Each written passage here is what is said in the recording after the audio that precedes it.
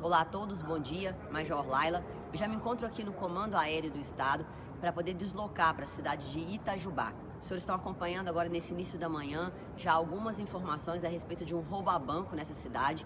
A cidade ela foi sitiada, né, houve ali disparos de armas de fogo contra o quartel da Polícia Militar, houve confronto, troca de tiros. Nós estamos com quatro policiais militares feridos, um deles passa nesse momento por cirurgia.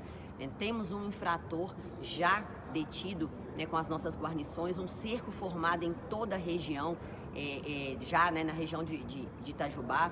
Então são informações preliminares, eu estou deslocando para a cidade para buscar detalhes, trazer informações para toda a população mineira, mas o nosso cerco continua, militares do nosso BOP já na cidade desde o início da noite, né, início da madrugada. Já temos também uma outra guarnição do BOP que se desloca comigo para reforço desse policiamento, além de todo o esforço da região, do comando aéreo, para apoiar a tropa em terra.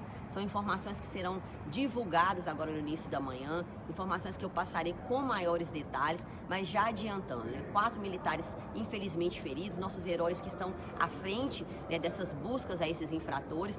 Temos aproximadamente de 6 a 10 veículos que evadiram depois desse roubo, é, inicialmente sem informações a respeito de civis feitos reféns. Então, uma situação que nós ainda estamos nas buscas e vamos com certeza trazer mais informações durante a parte da manhã.